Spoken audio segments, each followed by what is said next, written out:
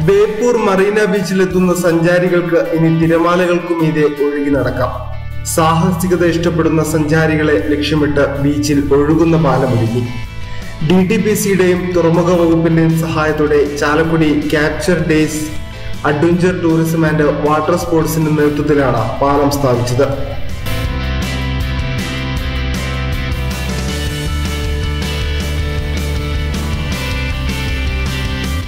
ഔദ്യോഗിക പ്രവർത്തന ഉദ്ഘാടനം മന്ത്രി പി എം മുഹമ്മദ് റിയാസ് നിർവഹിച്ചു.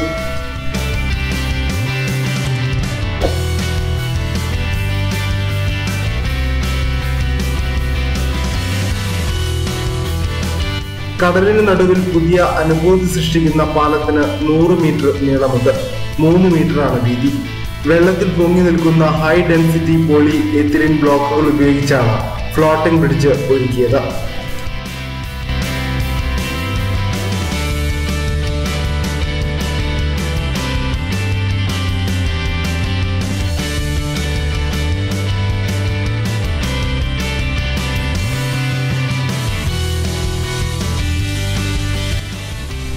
പെട്ടെന്ന് ഘടിപ്പിക്കുകയും ഇളകുകയും ചെയ്യുമെന്നതിനാൽ ആവശ്യത്തിനനുസരിച്ച് ഇവ മറ്റിടങ്ങളിലേക്ക് നീക്കാനാകും.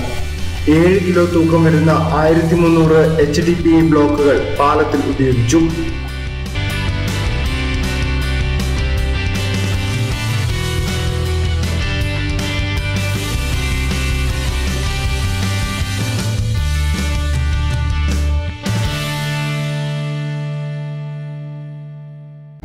വെള്ളത്തിൽ താഴാത്ത ബ്ലോക്കുകളിൽ രണ്ട് മീറ്റർ ഇടവിട്ട് താങ്ങുകൾ നൽകിയിട്ടുണ്ട്. വശങ്ങളിൽ കൈവരിയുള്ളതിനാൽ വീഴാതെ പിടിച്ചു നിൽക്കാനും സഹായകമാകും.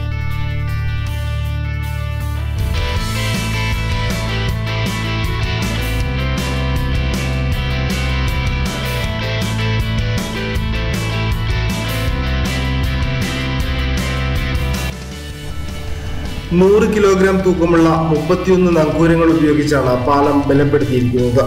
തിരമാലകൾക്കനുസരിച്ച് പാലം ഉയരുകയും താഴുകയും ചെയ്യും.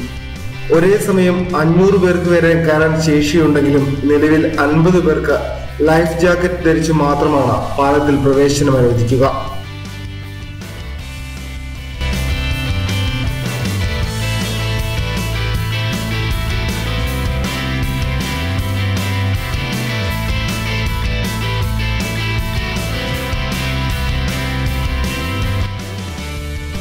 കടലിലേക്ക് നീണ്ടു കിടക്കുന്ന പാലത്തിന്റെ അറ്റത്ത് സന്ദർശകർക്ക് കടൽ സൗന്ദര്യം ആസ്വദിക്കാവുന്ന തരത്തിൽ പതിനഞ്ച് മീറ്റർ വീതിയുള്ള പ്ലാറ്റ്ഫോം ഒരുക്കിയിട്ടുണ്ട്. രാവിലെ പതിനൊന്ന് മണി മുതൽ വൈകിട്ട് ആറ് വരെ പ്രവേശനം അനുവദിക്കുന്ന പാലത്തിൽ കയറണമെങ്കിൽ നൂറ് രൂപയാണ് നിരക്ക്.